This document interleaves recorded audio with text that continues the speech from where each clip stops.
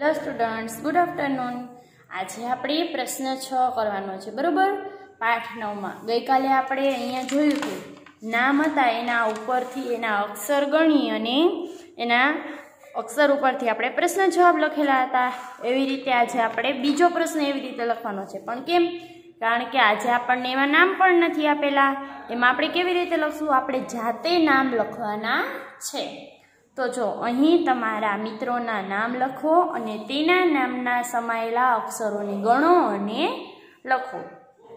અહીંયા આપણે નામ લખવાના છે અને નામ ઉપરથી આપણે એના અક્ષર ગણી અને લખવાના છે.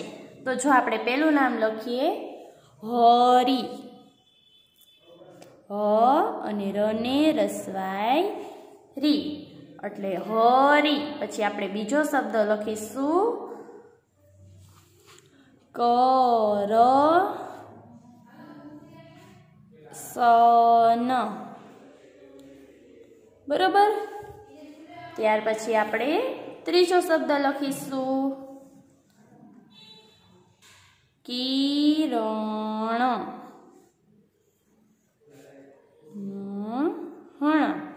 કિરણ. બરોબર? હવે એના પછી આપણે લખીશું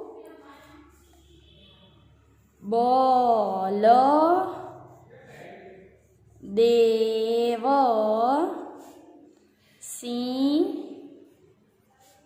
હ, બલદેવ સિંહ. હવે આ અક્ષર છે, આપણે નામના લખેલા છે. એ એક નામમાં કેટલા અક્ષર આવે છે, આપણે અહીંયા ગણીને લખવાનું છે. તો જો આપણે પેલું નામ શું લખેલું? હરી.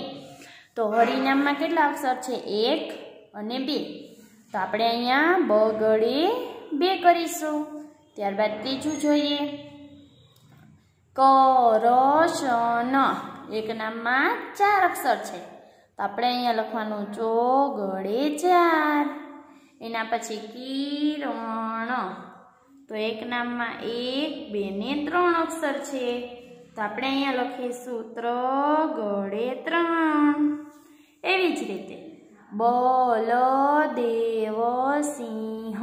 કેટલા અક્ષર થયા? એક, બે, ત્રણ, ચાર, પાંચ અને છ. તો આપણે અહીંયા લખીશું છ ગળે છ. એવી જ રીતે નીચે જોઈએ. પ્રશ્ન નંબર સાતમાં શું કીધું છે? નીચેના ચિત્રનો અભ્યાસ કરી પ્રશ્નના જવાબ લખો.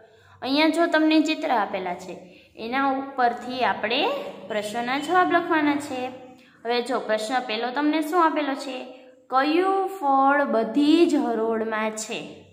તો એવું ફળ કયું છે કે જે બધી જ લાઈનમાં આપણને જોવા મળે છે? તો આપણે જોઈએ, દાડમ બધી જ લાઈનમાં છે? તો કે હા પહેલી લાઈનમાં છે, પણ બીજી લાઈનમાં? તો કે ત્યાં તો નથી. પછી દ્રાક્ષ જોઈએ. તો દ્રાક્ષ પહેલી બીજી અને ત્રીજી ત્રણેય લાઈનમાં છે, પણ ચોથી લાઈનમાં નથી. પછી અનાનસ જોઈએ.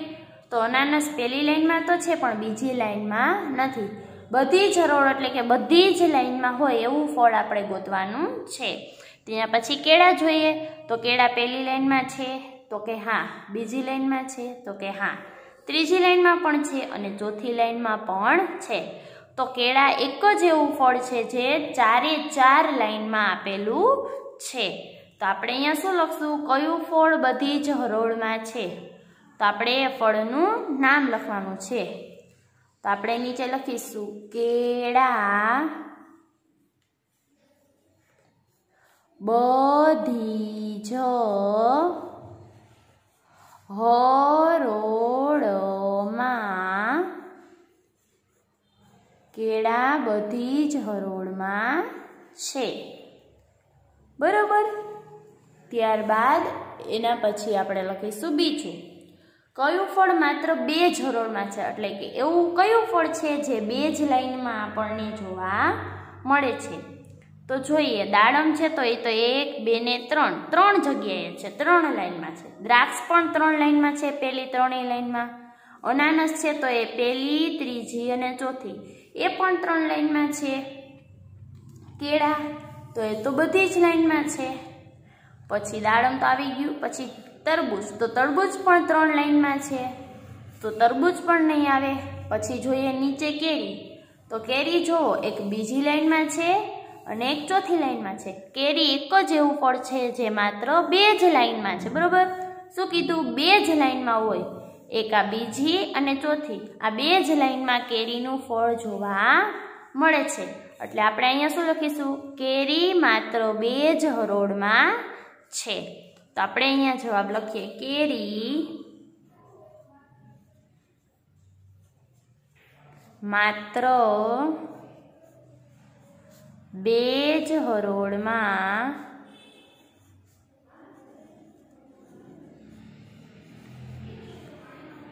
હરોળમાં છે. બરાબર?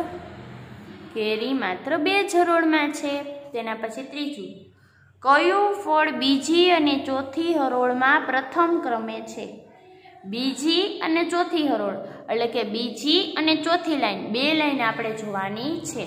એવું કયું ફળ છે જે બીજી અને ચોથી, બે લાઈનમાં પહેલું છે? તો બીજી અને ચોથી બે લાઈન જોશું આપણે. બેમાં પહેલું જ છે. પહેલું ફળ કયું છે? તો કે કેરી. તો એ ફળ કયું છે જે બે લાઈનમાં પહેલું છે? તો કે કેરી. બીજી લાઈનમાં પણ પેલું ફળ કેરી છે? અને ચોથી લાઈનમાં પણ પેલું ફળ કેરી છે. તો આપણે લખીશું. કેરી બીજી અને ચોથી હરોળમાં પ્રથમ છે. બરોબર? ત્યારબાદ આપણે એના પછી ચોથું જોઈએ. કયા ફળ એક કરોડમાં એકથી વધુ વખત છે? એવું કયું ફળ છે કે એક લાઈનમાં એક કરતાં વધારે વખત હોય? તો જો આમાં એક આરે બે ફળ એક સરખા છે તો કે હા, દાડમ. આમાં એક સરખા બે ફળ છે તો કે ના. પછી ત્રીજી લાઈનમાં એક સરખા બે ફળ છે તો કે ના. ચોથી લાઈનમાં એક એવા એક સરખા બે ફળ છે તો કે હા, કેરી. અને આમાં દાડમ. પેલી લાઈનમાં બે દાડમ છે અને છેલ્લી લાઈનમાં બે કેરી છે. બાકી બધા જ એક એક ફળ આપેલા છે. તો આપણે કયા ફળનું નામ લખશું? દાડમ અને કેરી. શું કામ? કારણ કે એકને એક લાઈનમાં એ એક કરતાં વધારે વખત, એટલે કે બે વખત આવે છે. કેરી પણ અહીંયા બે બે વખત આવી છેલ્લી લાઈનમાં અને અહીંયા બે વખત દાડમ આવ્યા. તો આપણે ફળના નામ લખીશું. દાડમ અને કેરી. તો આપણે લખીશું દાડમ અને કેરી. બરોબર? આવી રીતે તમારે આ ચિત્ર ઉપરથી પ્રશ્નના જવાબ લખવાના છે. અસ્તુ.